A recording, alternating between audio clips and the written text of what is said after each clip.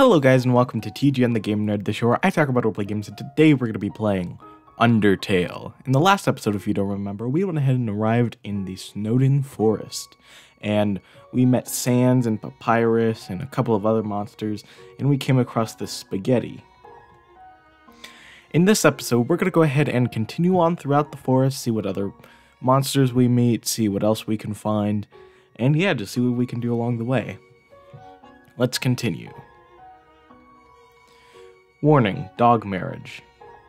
Quite the weird sign. Oh. Okay, we have Ice Cap and Jerry. So first for... First let's deal with Ice Cap. Okay, spare Ice Cap. Well, can you give me a ride home? With Jerry here, we're gonna go ahead and...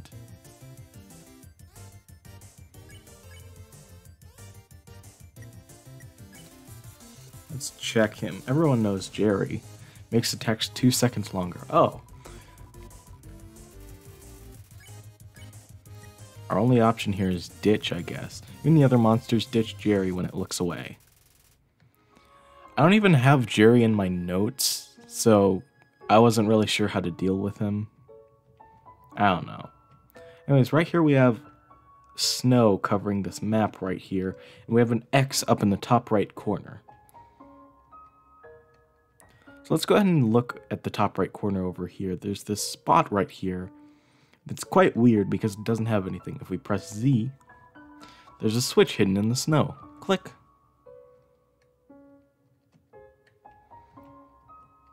And that leads to the opening of the puzzle. So now let's go ahead and move forward.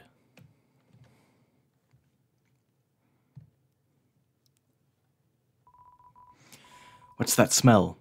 Where's that smell? If you're a smell, identify your smelf.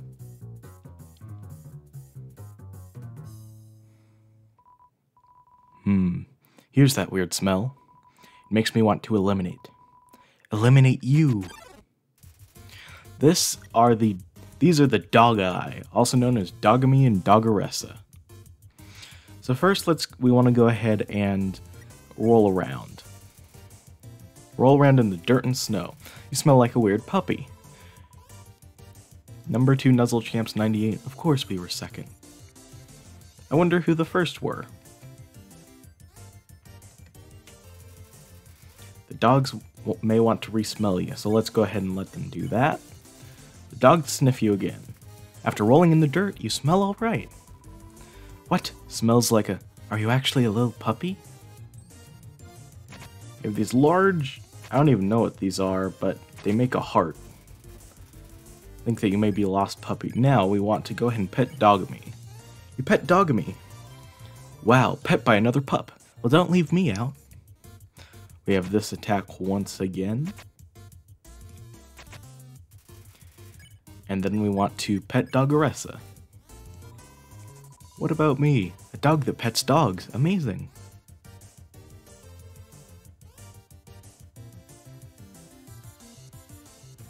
Okay, now we can spare them. Dogs can pet other dogs? A, a new world has opened up for us. Thanks, weird puppy. And they're off. So that's the dog marriage that we were told about. Turn every X into an O, then press the switch. What? How did you avoid my trap? And more importantly, is there any left for me? What do you tell Papyrus about his spaghetti? I ate it. Really? Wowee! No one's ever enjoyed my cooking before. Well then, fret not, human. I, Master Chef Papyrus, will make you all the pasta you could ever want. yeah. He did a backwards laugh there for a second. So we want to do just as the sign says, turn every X into an L, then press the switch. Pretty simple.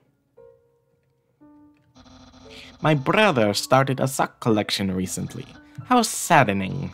Sometimes I wonder what he would do without such a cool guy taking care of him. Yeah.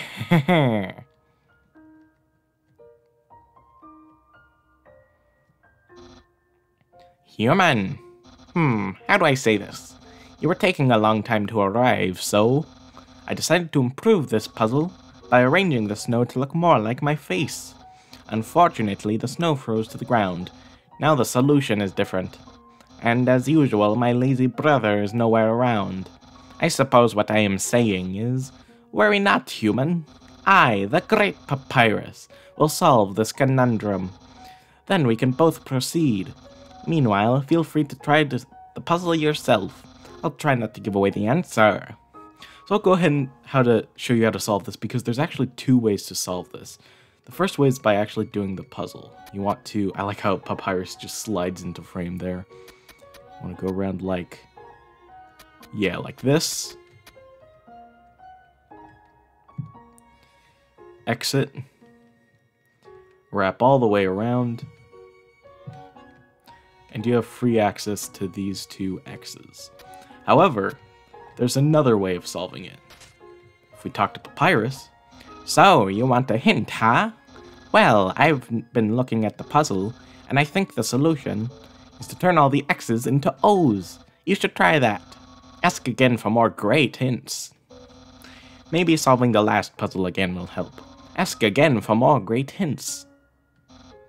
Eureka! I figured out the puzzle. You seem like you're having fun, though. Do you absolutely, absolutely want the solution? Do you absolutely, absolutely want the answer? If we say yes, the solution is. Please imagine a drum roll in your head. That tree over there has a switch on it. Check it outie. There's a switch on the trunk of this tree. Press it. Yep. Figured out the puzzle. Okay. So enthused by your enthusiasm, you can do it, human. But now, since we've gone ahead and solved that puzzle... Wait. I think talking to Papyrus accidentally reset it. Wait. Oh, do I have to press the button here? Okay. Wow, you solved it. My advice helped. It really helped you. Incredible! I'm impressed. You must care about puzzles like I do. Well, I'm sure you'll love the next puzzle then. It might even be too easy for you.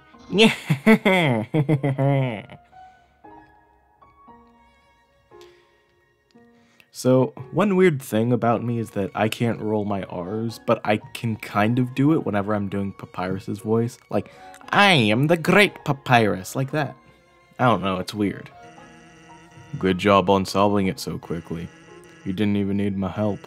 Which is great, because I love doing absolutely nothing.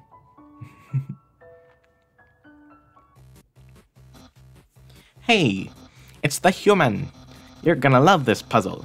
It was made by the great Dr. Alphys. You see these tiles?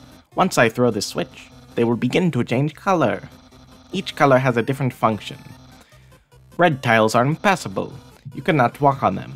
Yellow tiles are electric. They will electrocute you. Green tiles are alarm tiles. If you step on them, you will have to fight a monster. Orange tiles are orange scented. They will make you smell delicious. Blue tiles are water tiles. Swim through if you like, but if you smell like oranges, the piranhas will bite you. Also, if a blue tile is next to a yellow tile, the water tile will also zap you. Purple tiles are slippery. You will slide to the next tile. However, the slippery soap smells like lemons, which piranhas do not like. Purple and blue are okay. Finally, pink tiles. They don't do anything. Step on them all you like. How is that? Understand? So I'm gonna say of course here. Great! Then there's one last thing. This puzzle is entirely random. When I pull this switch, it will make a puzzle that has never been seen before.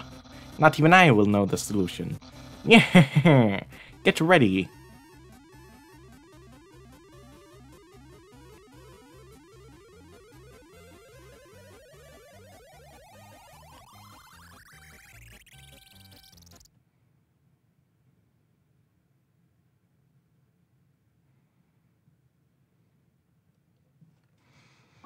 We get this incredibly easy puzzle. Actually, that spaghetti from earlier, it wasn't too bad for my brother. Since he started cooking lessons, he's been improving a lot. I bet if he keeps it up next year, he'll even make something edible. The machine isn't working. Interesting thing about that puzzle is that if you say you don't understand, Papyrus will repeat the instructions completely mixed up, and then if you say you understand it even less, he'll just say, hey, you can do this puzzle whenever you want, and he'll walk away, leaving you to just go across the puzzle, and even if you try to throw the switch, you can't. Also, remember how in the last episode we pet that dog so much that he, you know, grew a bunch? Well, afterwards, he was inspired to create some snow dogs. A dog just rushed in here filled with inspiration. It kept trying to build a snow dog that express, expressed its own emotions. But as it built, it kept getting more excited about the sculpture. Its neck got longer and longer, and it added more and more snow until it was rather sad to watch, but I couldn't turn away. Knowing that the dog will never give up trying to make the perfect snow dog, it fills you with determination. Oh, this is an interesting puzzle. First, I want to go down here because we have two snow sculptures. It's a snow papyrus.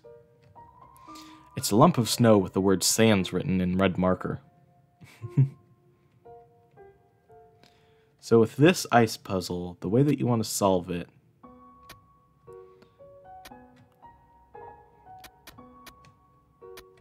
No, I didn't do it correctly.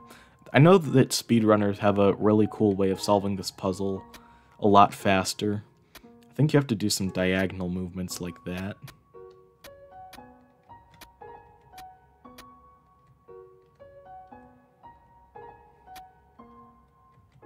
No, ah, gosh dang it. Okay, I won't try any speed. Okay, I just failed there. I won't I won't try any speedrun strats from now on. I'll just try to do it the normal way. It's not like I really know any speedrun strats anyway.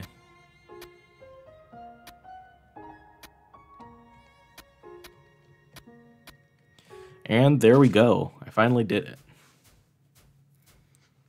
Now we can move across this. And rand it'll randomly generate a uh, not randomly generate. It has a couple of different snow things that can be on top of your character's head, but uh, I, I got a real lame one. It was just like a pile of snow, but it could be a bunch of fun different shapes. Hey, Sans. What's up? Say, are you following me? This is Gyftrot. So we're going to learn about this guy a little bit later, but what we want to do is we're going to go ahead and just undecorate him. Remove the box of non-dog related raisins. That's a little better. Okay, one. Oh. Okay, yeah, that's one of his attacks where he. Uh, it's like the cup and ball thing where one of them is blue, and you have to keep your eye on it. Here's one where I guess it's supposed to be snow, undecorate him one more time, you remove the lenticular bookmark of a smug teen winking. I wonder if that's a reference to something. A weight has been lifted. And now we can spare him. That's nice. So, interesting thing, if we enter this cave right here, we see these four mushrooms. And I know that there's something here. I forget exactly what. I'll mention it in post. Or if it's like spoilers for something, then I'll mention it later on in the series. Either way, we're just going to leave this alone for now. Another interesting thing is if we go over to the left here, we can see a little house down there. And if we wait long enough,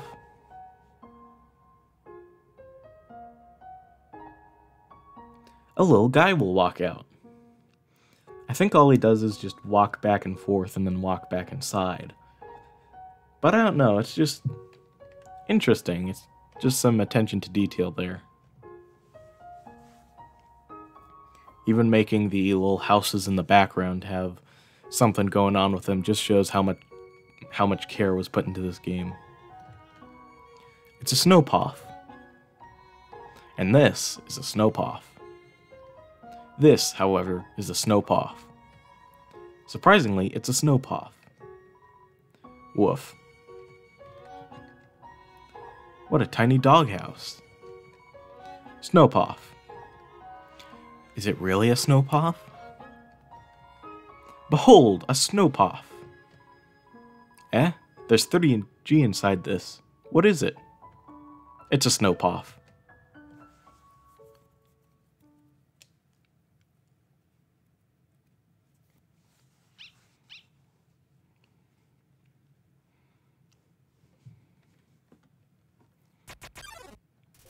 This is Greater Dog.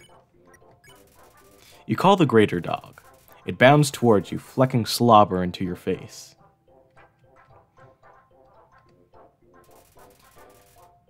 This battle's got some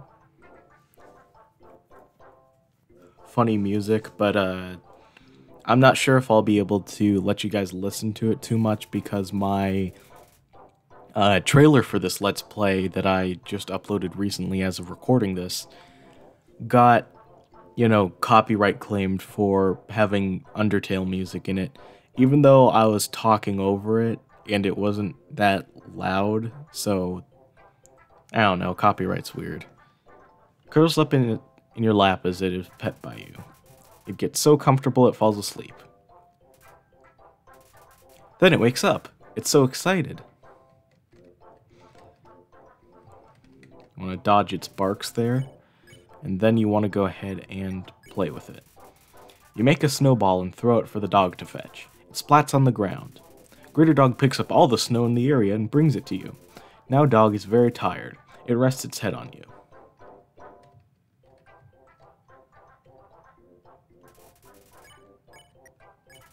Now we just gotta keep petting it. As you pet the dog, it sinks its entire weight into you. Your movement's slow, but you still haven't pet enough. So it mentioned that your movement's slow, and that's actually true. You move a little bit slower here. Now you just want to pet it again. Pet decisively. Pet capacity reaches 100%.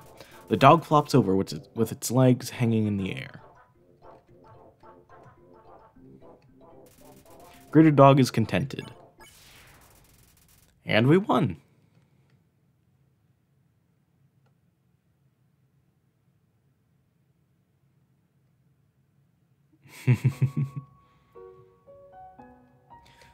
now, this bridge.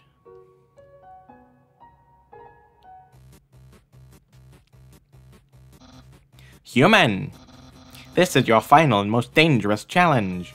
Behold, the gauntlet of deadly terror. When I say the word, it will fully activate. Cannons will fire, spikes will sling, swing, blades will slice.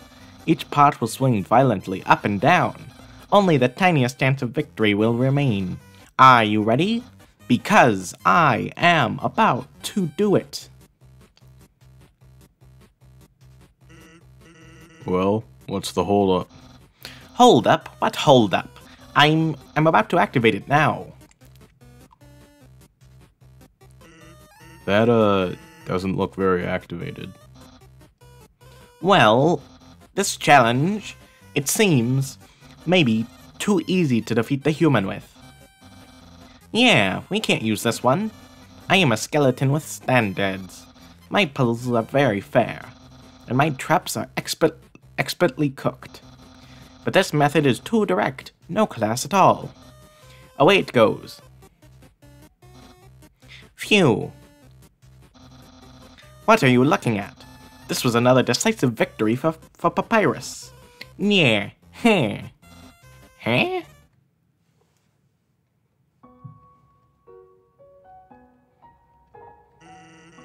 I don't know what my brother's going to do now. If I were you, I would make sure I understand blue attacks. Blue stop sign. And welcome to Snowdin Town. First, I want to go ahead and save. The sight of such a friendly town fills you with determination. What followed was a couple of minutes of epic inventory management. I thought I'd go ahead and skip it for you. If you're a fan of typical RPGs, you might be saying, well, why aren't you just gonna go ahead and, you know, take all of your stuff and sell it, sell it to a shop, to the shop right there? Well, let's go ahead and walk into the shop. Hello, traveler. How can I help you? We try to sell. Huh? Sell something? Does this look like a pawn shop? I don't know how it works where you come from, but if I started spending money on old branches and used bandages, I'd be out of business in a jiffy. Take your time. So, right here we have a few good items. We have the manly bandana, which I'm going to go ahead and buy. It has abs on it. That's great. Uh, I think I'll go ahead and also buy the... get it? I'm to buy the bisicle.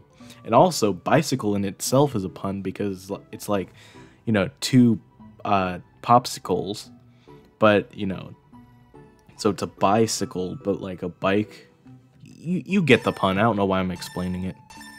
I'll buy a couple of those because th those are actually really good healing items because they heal almost all of our HP. And... Go ahead. They all they also come in two different they work as two healing items, so you can reuse you can reuse the bisicle uh, after you use it once. So it basically works as two healing items.